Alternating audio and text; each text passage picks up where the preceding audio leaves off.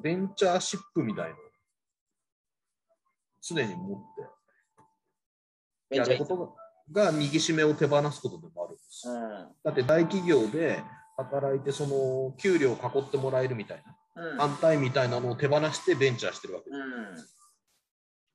で一攫千金とか狙い行くわけですね。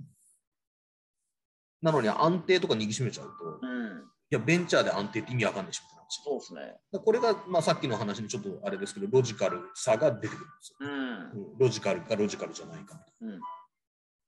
ベンチャーなのに安定ってよくわかんない。うん。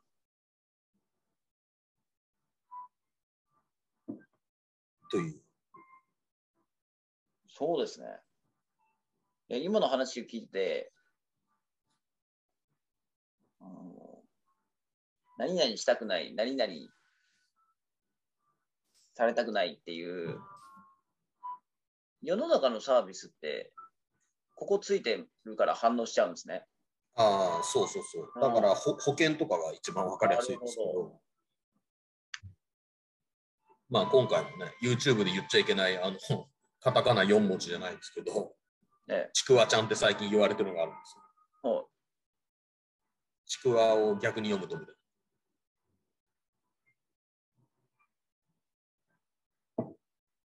言っちゃいけないんですか？な。あこれあんまり言言ったり言ったりすると、あの音がはい消されたりするから、みんなちくわちゃんって言ってるんですけど、うあの、のもみんなそうじゃないですか。何々したくない、されたくないで、みんな言っちゃうわけですよ。うん。という。うーん。だだもう教育がそうなっちゃってるんですよ。うんあの上のやつらが動かすために。うん。まずそれに気づいてそれ外しに行かないと自分の人生生きれないわけですよ。その国や政府にの操り人形じゃないですか。うん。だから面白くないよって。うん。でもみんなそれが一番早い。うん。で、催眠術もそうなので、うん。リラックスさせるか、緊張させるか。だから恐怖で、恐怖で緊張させるかなんで。うん。一番簡単なのは恐怖で緊張させることなんで。うん。なるほど。だだからこっちがその意図じゃないのに、もう受け手がそうなっちゃってるみたいな。うんだセミナーがクソなのもそうなんですよ。うん。あのーもう小学校で先生はがいて、自分たちは椅子に座って生徒役やってたわけじゃないですか。うん。だからああなっちゃうんですよ。うん。もう条件反射っていうか。はい。そうですよね。そうだから全然説教しないのに説教されてるみたいな空気になんですよそれじゃないよっていう。うん。まあアベンジャーズはチャレンジャー的なの。そうですね。アベンジャーだけに。アベンジャーズはチャレンジャーであるっええ。格言ですね。ていうことなんで、えそういう人たち集まってこい。え。うん。だんだん気づいてる人とかもいるので、うん。でもそのためには、うん手放さなくちゃいけないものがあるんですよ、うんま周りからもしかしたら後ろにも刺されるかもしれないですし、うん。あの普通の人たちのお友達になれないかもしれないです。うん。まあ、変態たちがそこにいるようん。という集まりにしたわけですよ。で、ちゃんとしたその、なんつうの、操り人形ではない建設的な活動をしていきたい、議論活動をしていきたいというのがアベンジャーズスクールそれがスクールですからね、本物教え、教えなわけですよ。ええ。うんうんうん。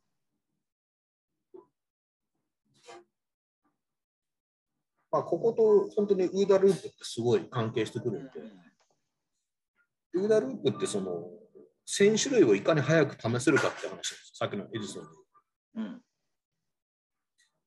らもうこの反、あ、今日これ投げたら、あ、この反応かみたいな。じゃあ次この、やったらこの反応かみたいな。うん。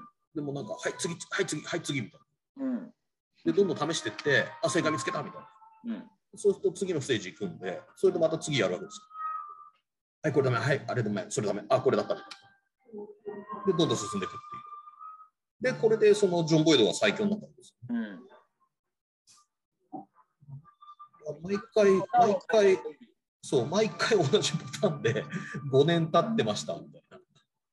何しとんねんみたいそうそう、はい、まるまるさん、チャンピオンおめでとうございますみたいな、何言ってるのかわかんないですけど、まあそうなっちゃうわけです。